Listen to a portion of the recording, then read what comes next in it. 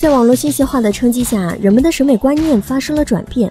如今千篇一律的网红脸，难免让人产生视觉疲劳。于是，所有人都期待一张具有冲击力的新面孔，打破僵局。二零一九年四月十四日，曾美惠孜以黑马之姿在香港电影金像奖成为第七位获此殊荣的内地女演员。此后，数不清的栏目专访如同潮水般涌向了她。但一年之后，关于曾美惠孜的讨论又归于平静，她的微博粉丝只有十几万粉，比不上一个普通网红。欢迎来到小镇电影，我是小一。这一次简单聊一聊女演员曾美惠孜。曾美惠孜多次说过，没有演员不想红，没有演员没有野心。大家认为野心是贬义词，但我觉得它是一种动力。而曾美惠孜的故事就是一个一夜成名的故事。在出道十几年后，她的名字才被大众所知。依靠一部香港电影《三夫》，曾美惠子拿下了最佳女主角。这是导演成果妓女三部曲的最后一部。前一部《榴莲飘飘》让秦海璐拿下金马奖影后，另一部《香港有个合理活》也拍出了不一样的周迅。曾美惠子在《三夫》里的角色小妹是个欲望旺盛的年轻女孩，她智商有点问题，不会说话，只能用单字来表达。本着完全自愿的精神，小梅用日日夜夜来满足排着长队的顾客。由于普通男人难以满足她，便出现了三个丈夫的荒诞故事。第一任是她的亲生父亲，和小梅乱伦生下了一个儿子后，把她卖给了渔民老头。第二任丈夫没能力赚钱，索性利用小妹卖肉，并转手卖给了嫖客四眼仔。而四眼仔也满足不了小妹的需求，结果三位丈夫商量后，决定让小妹继续卖肉喂饱自己。令人匪夷所思的是，小妹和三个丈夫竟然实现了和谐共处。这个看上去充满噱头的伦理故事，其实是暗讽政治与现实的黑色语言。因为尺度过大，导演曾经想找一个专业女优来演，而在母亲的支持下，曾美惠孜赤膊上阵，演出了一种原始地母般的女神之感。为了融入角色，她增肥四十斤，导致月经不来，许多水戏让她的下半身一度失去了知觉。有人说，曾美惠孜的身上写着欲望，脸上写着绝望。她汗涔涔的脸和空洞的眼神，就像一条任人宰割的鱼。成为影后之前，几乎没人听过曾美惠孜，而事实上，她已经是个入行十四年的老演员。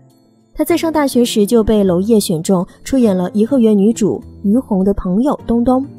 娄烨捧红了郝蕾，也让曾美惠孜踏入了演艺圈。二零零七年的《苹果》。曾美惠孜演洗脚城小妹，失业后沦落成妓女，堕入风尘后被嫖客所杀。苹果带曾美惠孜去了柏林电影节，那是她第一次出国，也是她第一次走红毯。无数摄影机的闪光灯能把人眼闪瞎，她全身像通过无数电流一样，兴奋、好奇、享受，又极其自信。高起点以后就是长时间的默默无闻。她拍了几部电视剧和电影，反响一直不温不火。和葛优合作过一部《气喘吁吁》，她饰演一个不起眼的保姆；和孙俪合作过一部都市时装剧《辣妈正传》，演一个叫欣欣的配角。二零一六年，她拍了导演张明的《冥王星时刻》，饰演一个寂寞的乡村女人春台。在《下海》里，她是一个在巴黎站街的妓女；在《地球最后的夜晚》里，她是饰演男一号的前妻；在《南方车站的聚会》里，她是一个陪泳女。接下来。就是前面提到的获奖电影《三夫》，曾美惠孜几乎没有对白，全程只用单子来表达情绪和欲望，却直截了当。这些角色都与欲望有关的同时，曾美惠孜也逐渐发现了自己的戏路，那种情欲勃发、精力旺盛，却又被现实无情打压的女人。凭借大尺度表演走红，在华语电影圈有不少先例。之前郝蕾从《颐和园》里出来后，不再尝试类似作品。李小璐在《天狱》有裸露戏份，拿了金马最佳女主，对这部电影避而不谈。汤唯拍完李安的《色戒》，彻底转型成了文艺女神，而一直走这种戏路的，似乎只有曾美惠孜，她几乎成了玉女专业户。据曾美惠孜口述，即便拿了影后，也没有经纪团队，她之前大部分的拍戏、宣传和细碎事务都是自己对接。那究竟是没有机构找她，还是她自己拒绝合作呢？这背后的原因就不为人知了。严格来说，曾美惠子的长相并不符合大众的审美。她的外貌透着北方女性的骨骼壮大，要纯论颜值，也就是个中等水平。可一到镜头前，则完全不一样。曾美惠子说过自己是豹子和猫的结合，身上总有一种野生的感觉。事实证明也如此。曾美惠子曾在时尚杂志拍摄做写真，镜头前的她有一股神秘又明朗的力量，时而鬼马俏皮，时而静如处子，有着独特的东西方双重气质。曾美惠子还说过：“我想成为一个百毒不侵、百无禁忌的女人。我想成为真正的大明星。我的梦想是获得奥斯卡。”虽然这个灰姑娘穿上了水晶鞋，可她的内心却布满了渴望与探索。曾美惠子的偶像是玛丽莲梦露和巩俐，所以金像奖影后只被当作是起点。绝大多数媒体描述曾美惠子都用了生猛、野性和危险等等词汇。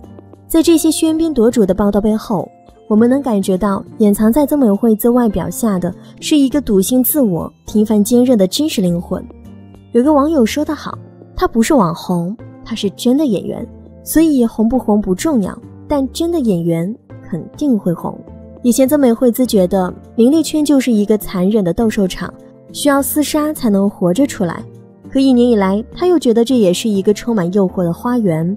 曾美惠子总结说：“真正的对手其实就是自己。”和其他明星网红不同，曾美惠子不玩人设，在她眼中，戏比天大。他愿意为电影献出所有，愿意去尝试一切可能。之前改年龄、发公关通稿，这些都是真的。可他用心拍戏，拿了影后，这些也是真的。至于曾美惠子以后会带来怎样的作品，能否拍上她最喜欢的莫言的丰乳肥臀，就让我们拭目以待吧。好了，感谢收看小镇电影，我是小一，下期栏目不见不散，拜拜。